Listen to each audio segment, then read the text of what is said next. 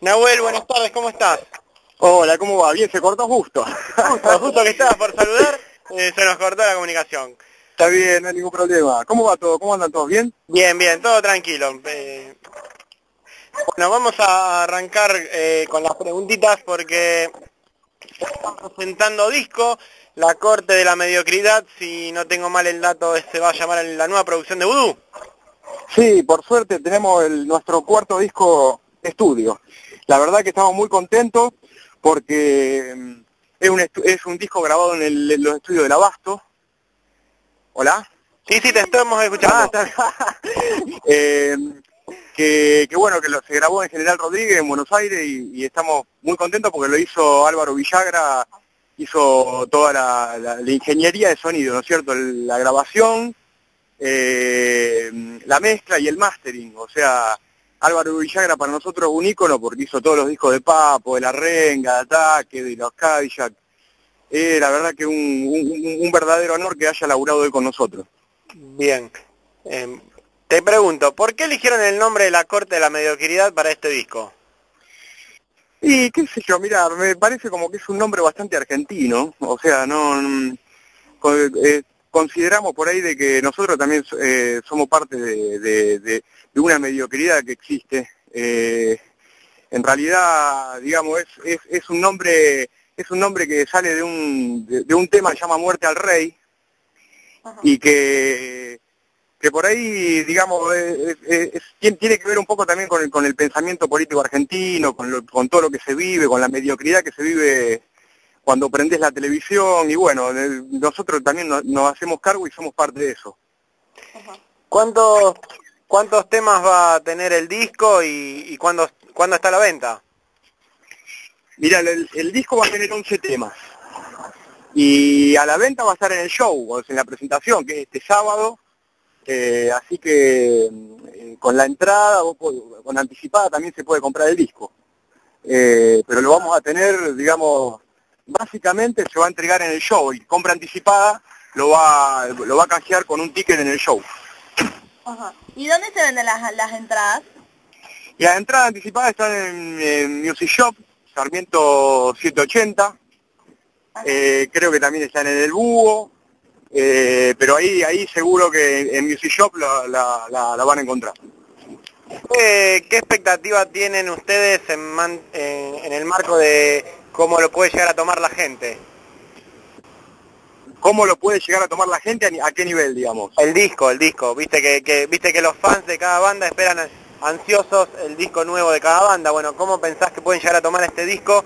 Por lo que me venís diciendo con una carga social bastante importante. Sí, mira, yo creo que lo que va, lo que va a escuchar o a sentir la gente me parece que es eh, va a sentir una, una, evolución de la banda en cuanto a, en cuanto a la cuestión sonora. Me parece, digamos, de que hay una diferencia bastante importante con los otros discos, con, con por ejemplo, eh, bueno, con los dos primeros ni hablar, porque hicieron con, con muy poco dinero, pero digamos con Picasso, que fue grabado en Circo Beat, se grabó, se grabó y se mezcló en cinco días, digamos, hay diferencia, digamos, hay mucha diferencia a nivel de sonido. Se van a encontrar con un disco que realmente suena bien. Y con, quiero hacer una pregunta que un poco con respecto al público. Eh, tengo entendido que ustedes han tocado afuera del país. ¿Cómo es el público de afuera? Mira, nosotros nosotros no tampoco estuvimos dando vueltas por el mundo mucho. Nosotros, eh, la, la, gira más importante que hicimos fue en Brasil, Ajá.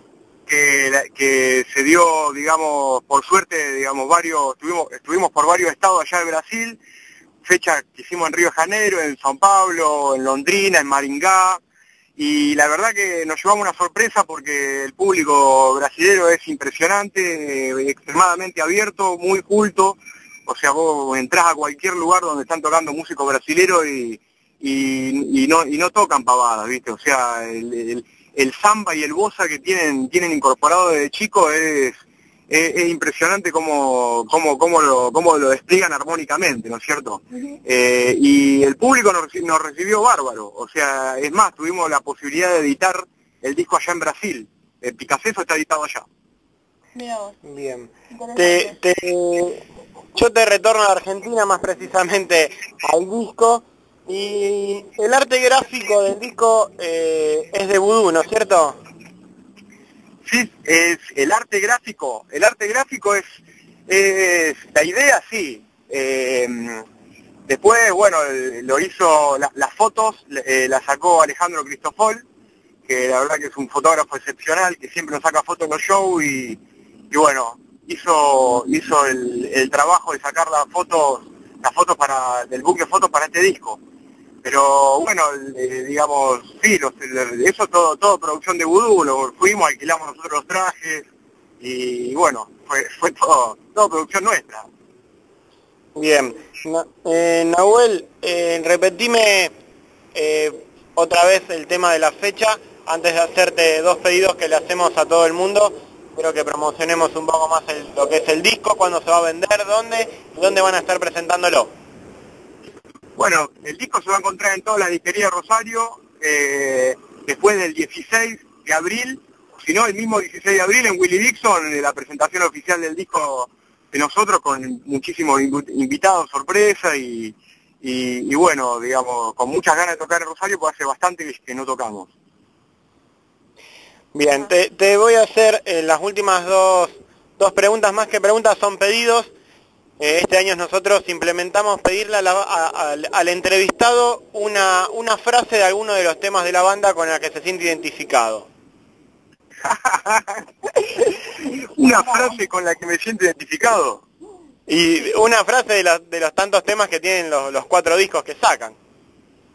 Eh, y bueno, eh, no, la frase, digamos, el título, el título, el título del, último tema del disco que se llama No Callaré, me parece que, es importante, digamos, el, no callar y seguir hablando, seguir diciendo cosas y, tener en cuenta que la, única posibilidad que nosotros tenemos, digamos, de, revolución es, la palabra y me parece que eso es, lo que hay que lo que hay que utilizar, lo que todos tenemos que utilizar. Bueno, como última, ¿vos tenés algo más para preguntarle? No nada más. Bueno, como última te pedimos que nos dejes un saludo para el programa. después te despedimos tranquilo. Bueno, soy la abuela Antonia de Budú y les mando un, gran saludo a ella y a toda su audiencia. Eh, un, gran saludo para todos. Bueno, Nahuel, un placer hablar con vos. Muchas gracias y nos estaremos viendo el sábado en Dixon. Bueno, el placer es mío y, nos estamos viendo. Algún día vamos para allá, para el piso. Encantados. Chao, hasta luego. Chao, chao, nos vemos.